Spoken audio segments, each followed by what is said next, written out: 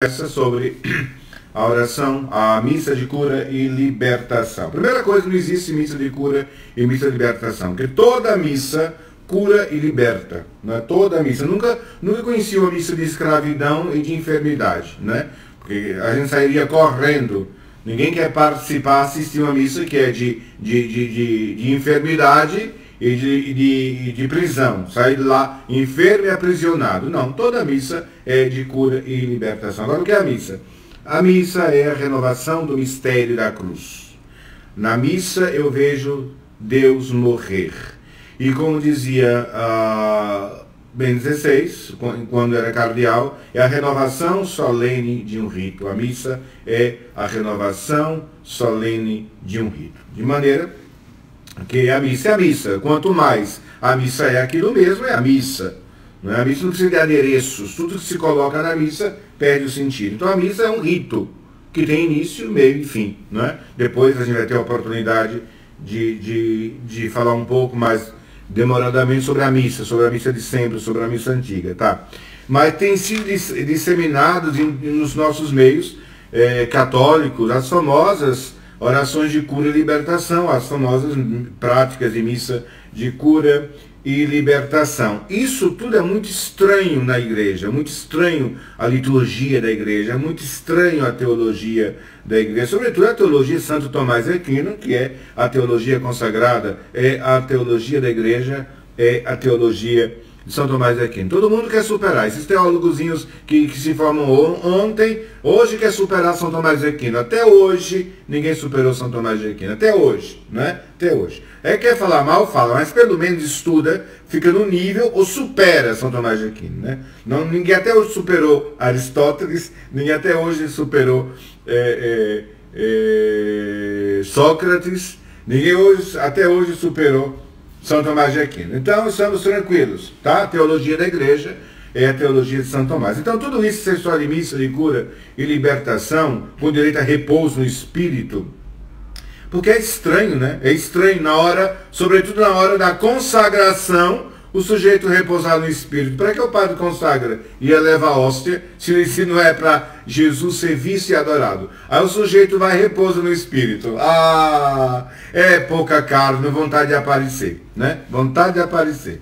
Então, é importante a gente pegar um documento que foi é, é, feito pelos bispos de Puebla, é, é do México, dos mexicanos de Puebla.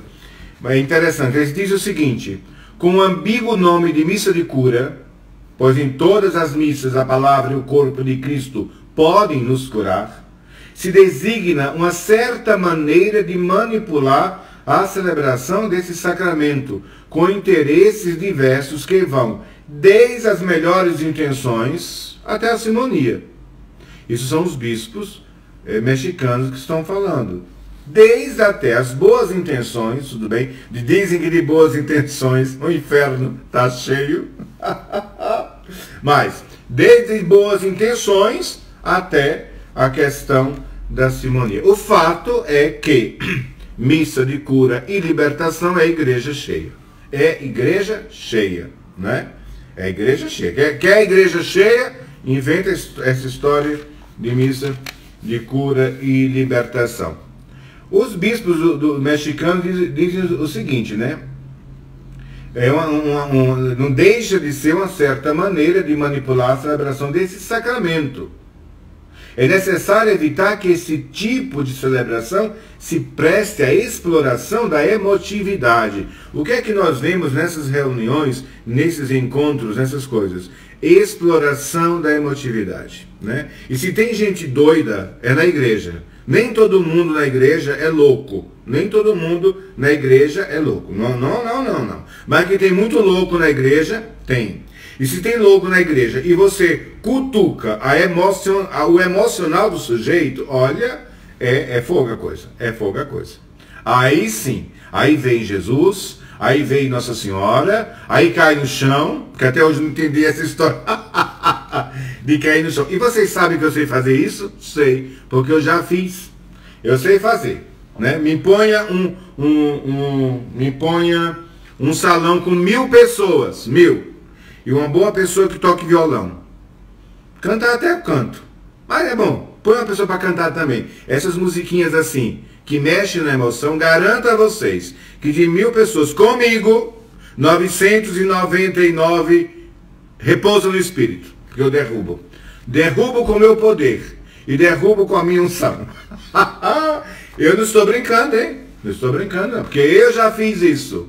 É facinho, facinho. Olha, se tem uma coisa. Tem gente que antes de você começar, a oração já cai no, no feito, feito, feito jaca mole. Já cai, jaca madura, já cai no chão. Tá, mas isso é outra história. É, então, é necessário evitar que esse tipo de celebração se preste à exploração da emotividade, da necessidade de cura e de uma visão fantasiosa que algumas pessoas podem ter. Acima de tudo, nunca se pode aceitar que se faça negócio com os sofrimentos da pessoa. Como é que você vai prometer a cura, o milagre? Não é? Como é que você vai prometer o milagre se você não tem um domínio sobre isso? Como a gente viu das outras vezes, a questão dos carismas. O que Santa Teresa fala sobre a questão dos carismas, São João da Cruz fala sobre a questão dos carismas. Tantos santos nos mandando ficar longe disso, não desejar. Santa Teresa e São João da Cruz até coloca os três motivos para a gente não desejar esses carismas assim extraordinários, né? Tá.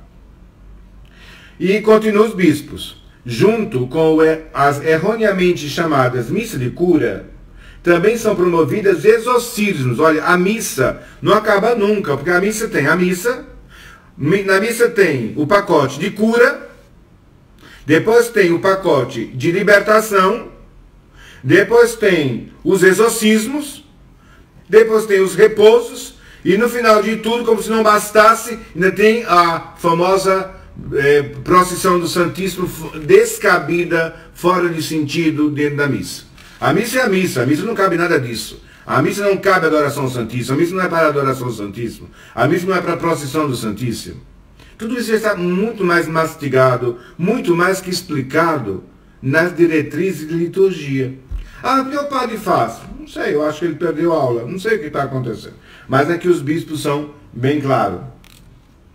Junto com é, é, é, é o sentido, unções, orações de liberdade, exorcismo, minha gente. Exorcismo só se faz em momentos gravíssimos quando depois esgotada toda a questão científica de fato o bispo manda, designa um padre, o bispo vai designar, designa um padre esperto, inteligente, não é que não seja é, é, é, é, autossugestivo, para ver se realmente o demônio está ali. 99 casos, 99% de casos de exorcismo não é o demônio. Tudo de cabeça da pessoa, loucura. ou querer chamar atenção. Ou querer chamar atenção. Tem um padre aqui da, da minha arquidiocese, gente muito boa. Gosto muito dele. Mas tenho vontade de matar ele, esganar ele. Sabe o que faz? Ele chega lá na paróquia dele, pessoas assim despossessas, e ele manda para mim. Manda para mim. Eu já fiz exorcismo aqui. Até hoje não, não, não, não encontrei nada de nada de demônio. E nem atendi a pessoa possessa. Atendo o pai, atendo a mãe, atendo o namorado. Não. E resolvo tudo. Resolvo tudo. Por quê? Porque não é nada de demônio. Tem isso. Então, agora, num ambiente com a musiquinha bonitinha, uma coisa sentimental, tem lugares que apaga até a luz, é, é na penumbra. Ah, quem não tem demônio, arruma, meu filho. Quem não tem demônio, arruma. Porque aí faz o show, cai no chão, vem meio mundo de gente rezar em cima, né? Rezar em cima. Teve uma vez, teve uma vez que numa dessas missas de cura e libertação, sabe, de cura e libertação, tinha um senhor lá, quieto, e veio três em cima dele para ele rezar em línguas e receber a libertação, o batismo do Espírito Santo, né? E receber o exorcismo. E rezava em línguas, rezava, a equipe rezando em línguas, rezando em línguas, rezando em línguas, e, e, e a pessoa que estava liderando a oração dizia para ele, abra a boca, abra a boca, comece, imite a gente a rezar em línguas, continua, vai, vai, vai, e nada, e nada, e nada, e nada, e nada. Aí um jovem que ia passando, que viu aquelas disse, não vai ter jeito não, porque ele é surdo e mudo.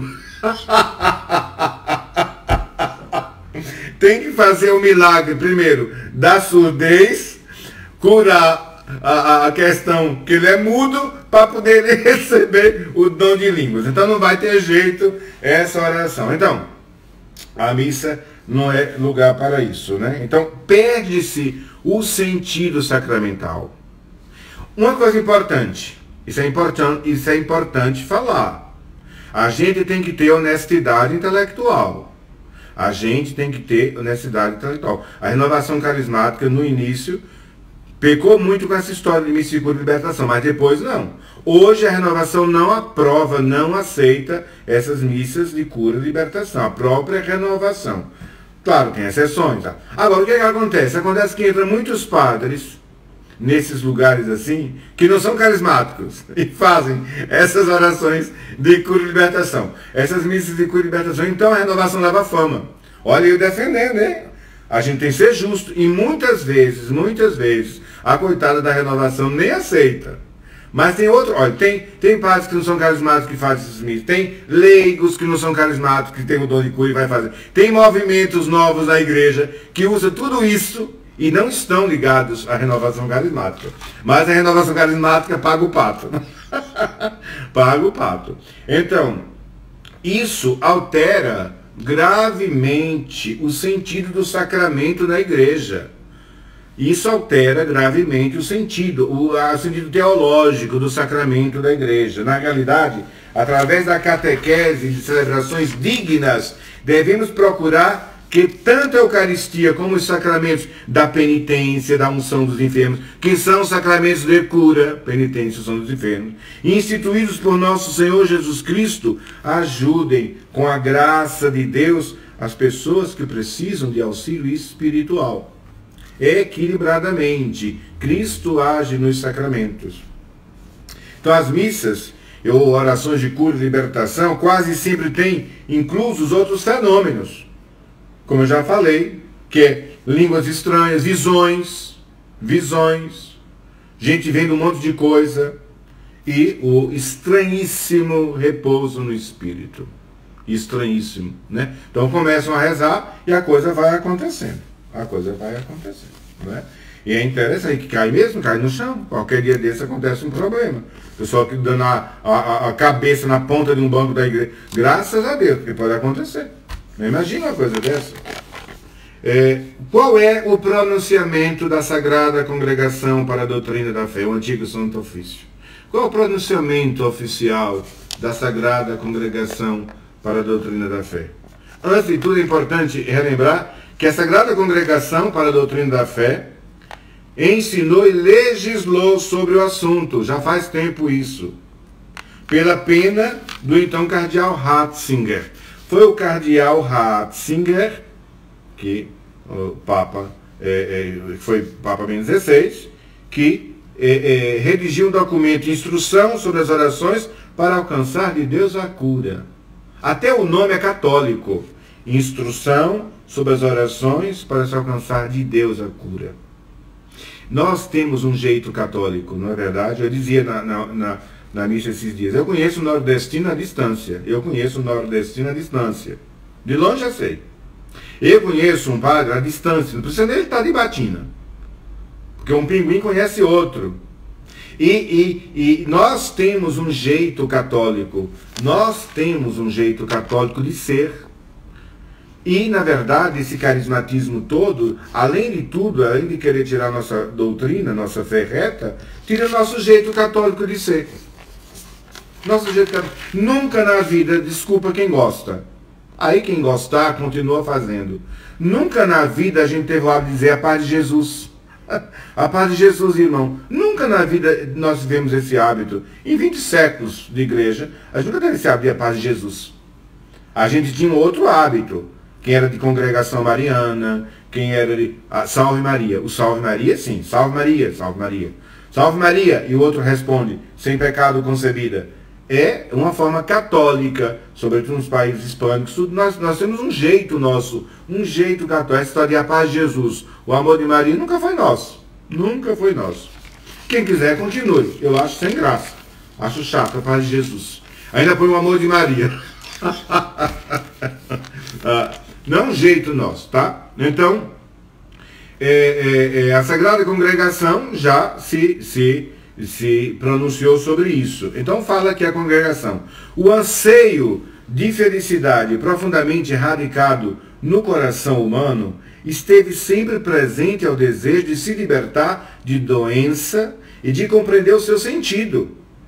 Quando se experimenta, trata-se de um fenômeno humano que é interessado de uma maneira ou de outra todas as pessoas, encontra na igreja particular ressonância.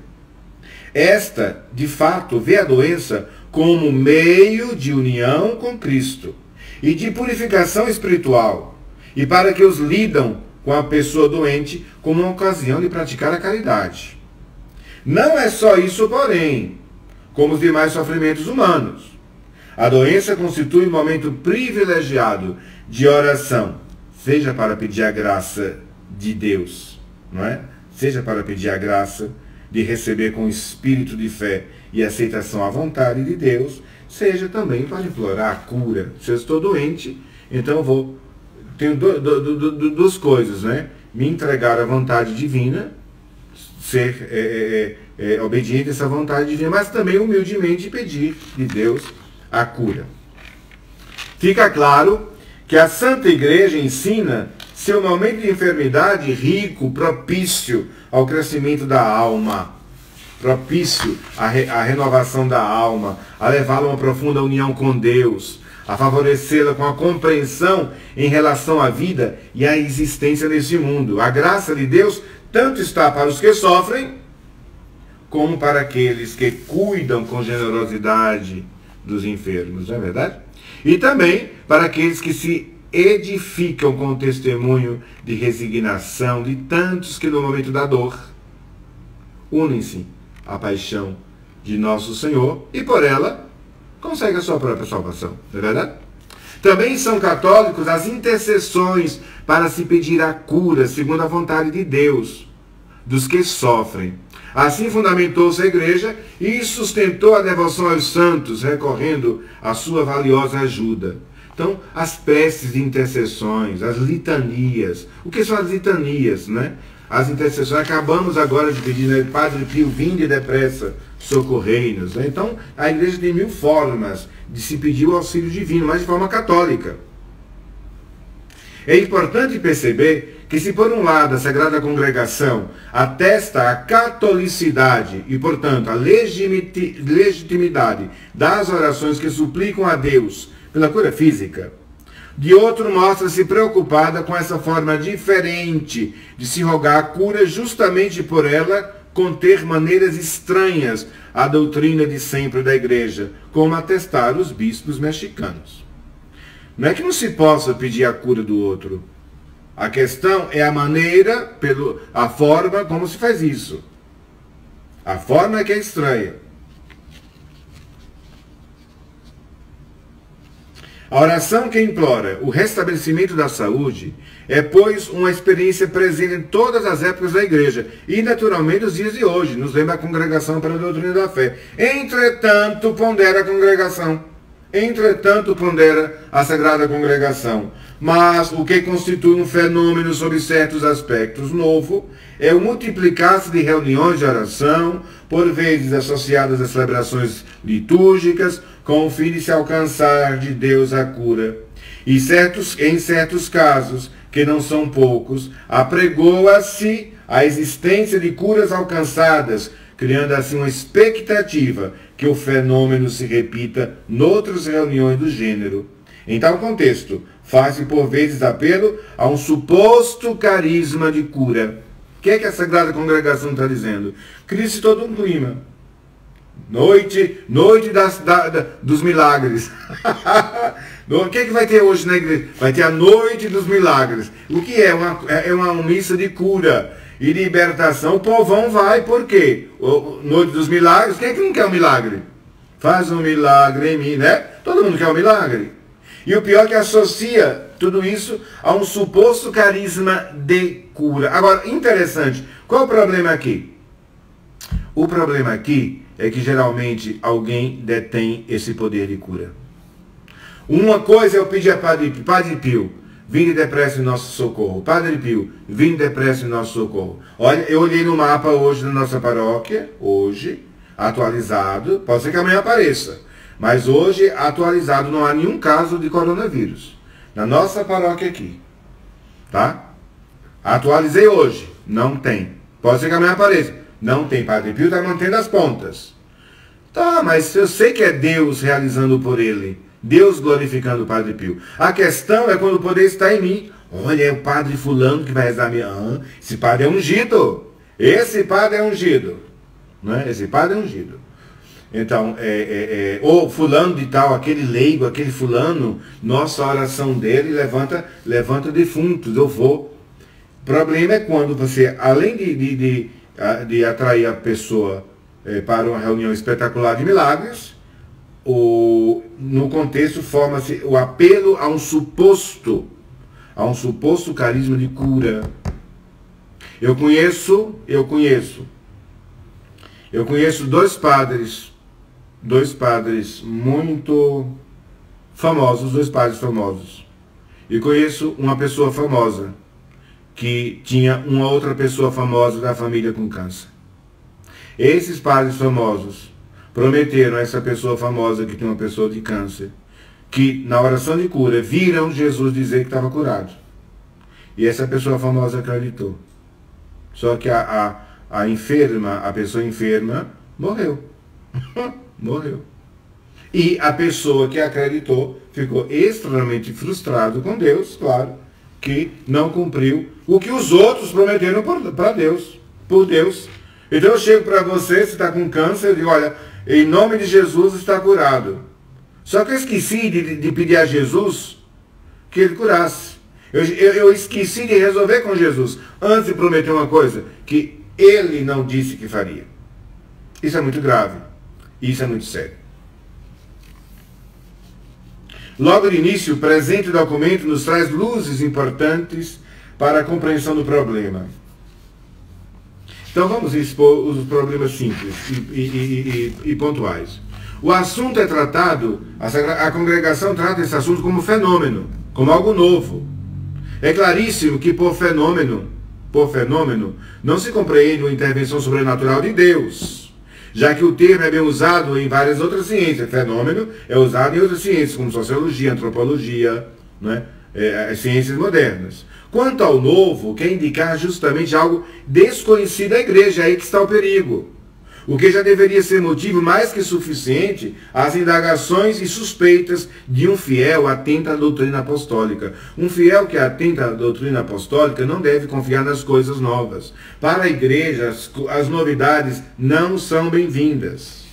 Santo Tomás vem condenar essas novidades.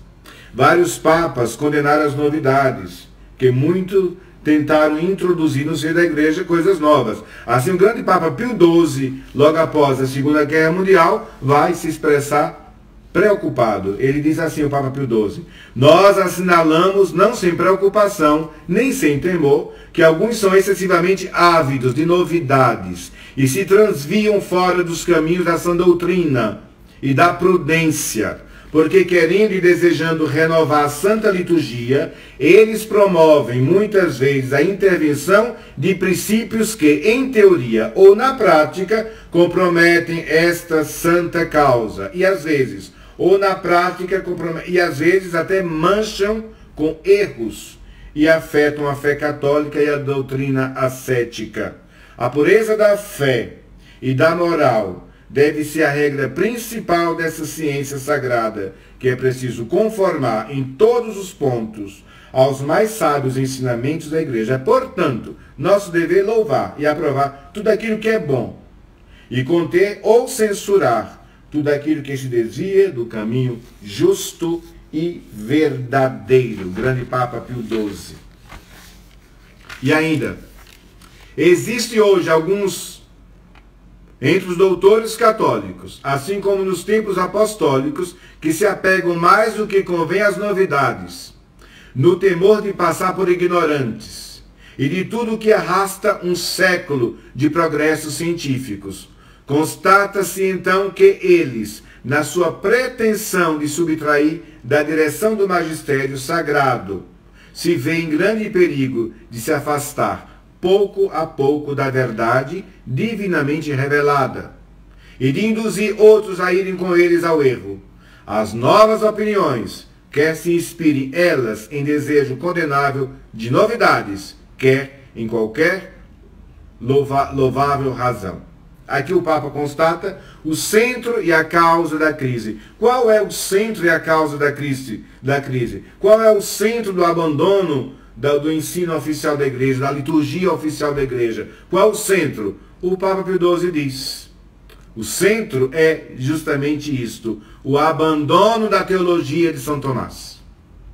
De fato, ó dor, os amadores de novidades passam naturalmente do desdém pela teologia escolástica à falta de atenção, até ao desprezo pelo próprio magistério da igreja, que com toda a sua autoridade aprova inteiramente esta teologia. Então, Pio XII, depois tem o Papa eh, Pio X também, não é? E, e por aí vai. Né? A, a, o abandono da, da, doutrina de Santo Tomás, né? o abandono daquilo que nos amarrava no que é reto, belo e verdadeiro. Aqui as novidades, as mais variadas, entram pela porta da frente da igreja. Depois do concílio, tanto que o Papa Paulo VI vai dizer, é, é, achamos que a fumaça de Satanás entrou por alguma brecha na casa de Deus, porque depois do concílio houve um, um total, uma total é, é, disseminação disso, daquilo, e tudo é, é, deu de água abaixo, que entrou as novidades pela porta da frente, como era esperava, é esperado, tanto que o Papa Paulo VI vai dizer, esperávamos uma primavera, e eis que veio uma tempestade.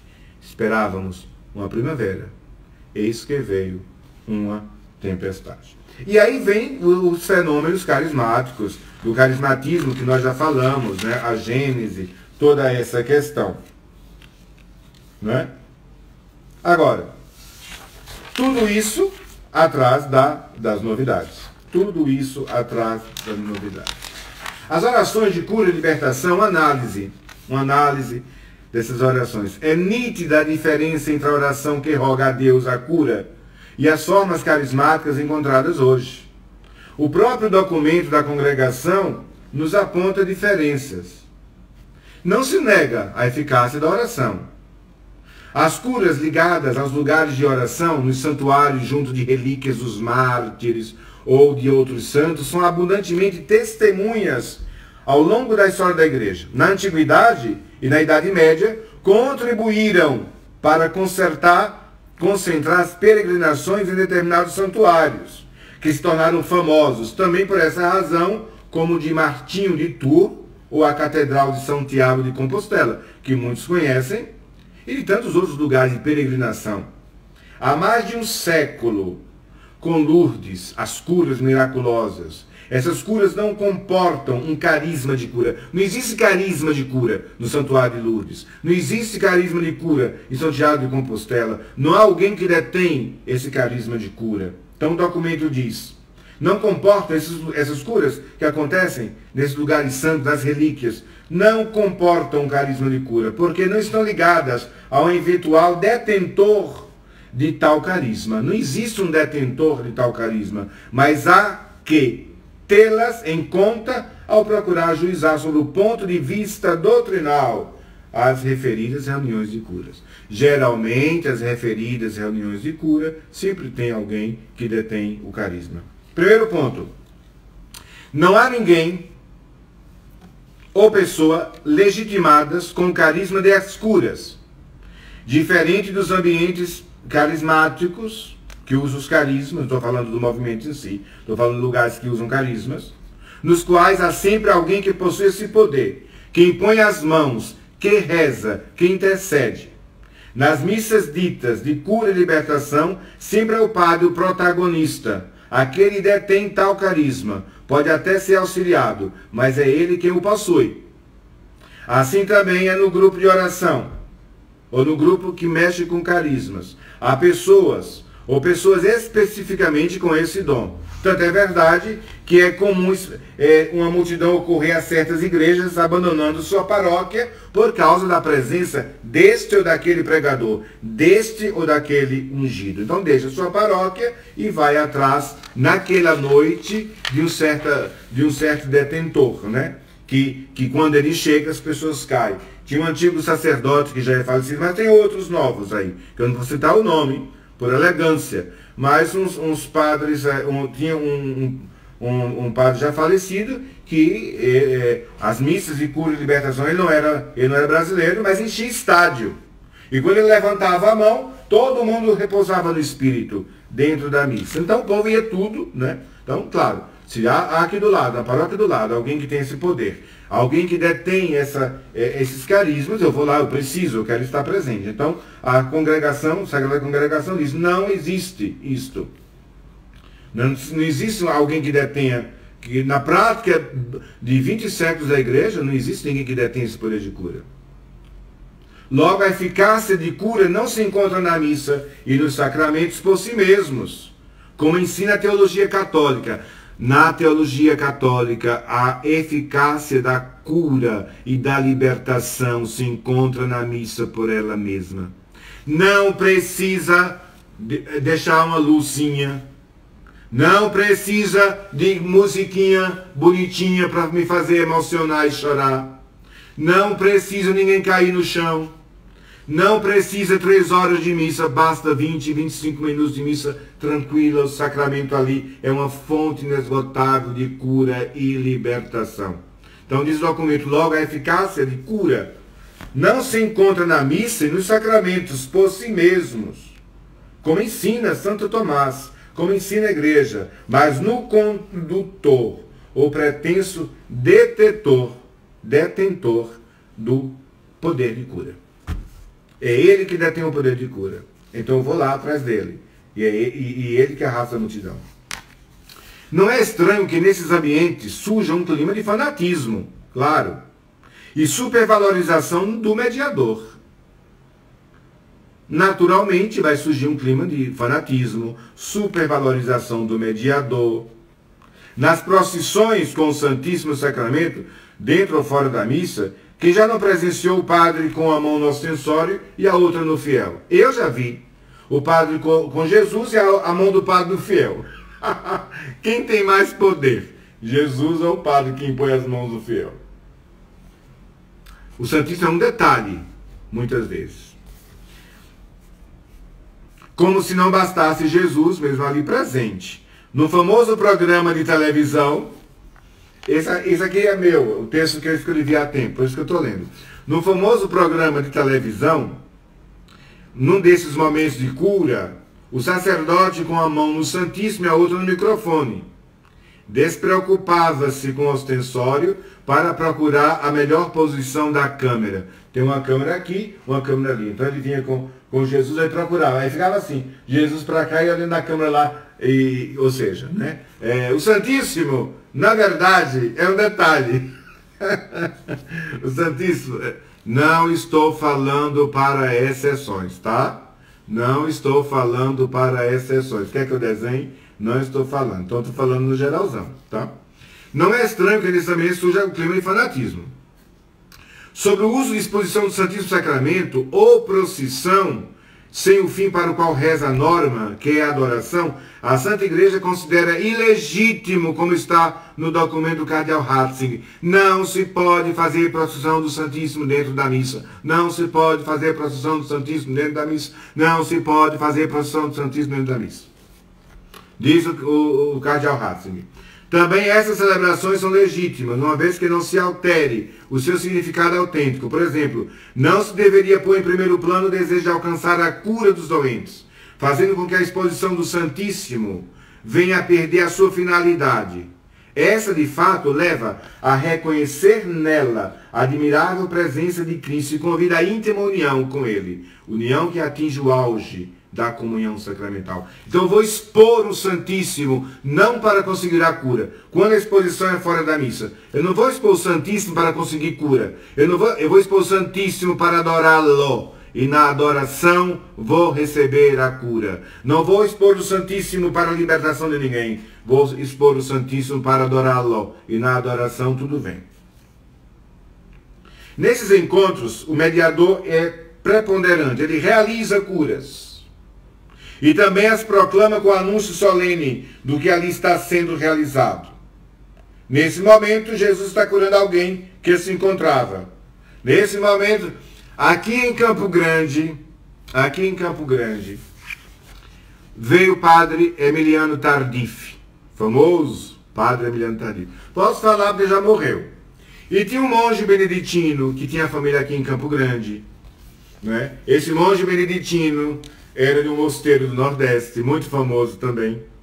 E ele estava realmente em cadeira de rodas. Só assim, ele andava, mas as, as pernas eram fracas, ele não conseguia andar muito tempo. Então andava um pouquinho e, e ficava na cadeira de roda. E teve um grande encontro de, de, de cura, de milagres aqui, e então é, levaram esse monge na cadeira de roda. Ele estava aqui a passeio. Ele morava lá no Nordeste. Aí colocaram a frente ali, tá? Na cadeira de roda, mas ele andava tranquilamente sem cadeira de roda. Só que não aguentava ficar nem sequer 20 minutos fora da cadeira de roda. Então, na hora de proclamação das curas, dos milagres, o padre Emiliano Tardif proclamou. Proclamou que ali tinha um sacerdote, porque tinha outros padres também na cadeira de roda que estava curado, que podia se levantar da cadeira, que estava curado. Então esse monge, ele não fez por maldade, ele assumiu a cura para ele. E ele se levantou e começou a andar. E quando ele se levantou e começou a andar, nossa, todo mundo aplaudiu. Milagre, milagre, milagre, milagre, milagre, milagre. É passado aquele tempo todo, ele não conseguiu ficar nem mais 20 minutos em pé, voltou para a cadeira de roda. Né? Isso acontece. Então, eu, é muito, eu não me atrevo a dizer em nome de Jesus, levando a cadeira. Vai que você leva uma queda da desgraça. Eu não me atrevo a dizer a você na cadeira, levanta-te, sai daí. Deus que me livre. Vai que você leva uma queda da desgraça e quebra a outra perna. Não. Não tem um poder para isso. É, é bem verdade que muitos santos tiveram o dom da ciência e sabiam o que se encontrava no interior das almas. Padre Pio, por exemplo, era capaz de perceber toda a vida da pessoa que o procurava. Entretanto, numa vida profundamente humilde, sempre se deu por nada, jamais pediu a Deus as tantas graças que foram derramadas nele. Nunca pediu nada. Nunca pediu nada, né? A congregação, a Sagrada Congregação, considera arbitrária a ideia de que o carisma de cura pertence a um grupo ou a pessoa.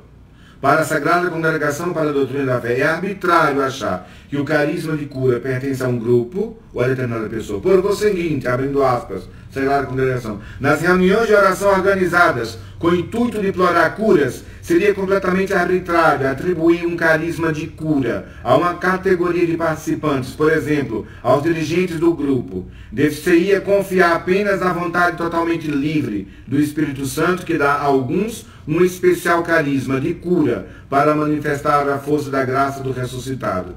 Há que recordar, por outro lado, que nem as orações mais intensas alcançam a cura de todas as doenças. Assim, São Paulo tem de aprender do Senhor, que basta-te a minha graça, porque é na fraqueza que se manifesta todo o meu poder. E que os sofrimentos que se tem de suportar podem ter o mesmo sentido do completo da minha carne o que falta a paixão de Cristo em benefício do seu corpo, que é a própria igreja. Tem enfermidades que é de, tem enfermidades que são de cura, que salva o sujeito. Se o sujeito não tivesse tal enfermidade, não se salvaria. Se o sujeito não tivesse tal enfermidade, não voltaria para Deus. Então, muitas vezes, a enfermidade é mais do que cura, ela cura e liberta também. Na conclusão do presente documento, de, de, encontramos algumas disciplinas, normas. Primeiro, as orações de cura litúrgica celebram-se segundo o rito prescrito e com as vestes sagradas indicadas no ordo. Então, um ritual para se pedir a cura que o padre pode realizar. Há orações prescritas e que se encontram no ritual da Igreja Romana, excluindo-se a possibilidade de improvisos e a mistura com outras orações. A Igreja reprova que se faça oração de cura fora do ritual romano, inventando, inventando oração e, e misturando uma coisa com outra. 2. Os que estão encarregados de preparar ditas celebrações litúrgicas deverão ater-se a essas normas na, na realização das mesmas. 3. A licença de realizar ditas celebrações tem de ser explícita, mesmo quando organizadas por bispos ou cardeais, ou estes nelas participem. O bispo diocesano tem o direito de negar tal licença a qualquer bispo, sempre que houver uma razão justa e proporcionada. É necessário, além disso, que na sua execução não se chegue, sobretudo por parte de quem as orienta, a formas parecidas como histerismos, a artificialidade, a teatralidade ou ao sensacionalismo. E aí vai mil normas, muitas normas sobre. É absolutamente proibido inserir tais orações na celebração da Santa Missa. Vou repetir, vou desenhar. É, número 3, é absolutamente proibido inserir tais orações na celebração da Santa Missa dos Sacramentos e na liturgia das horas. Tá?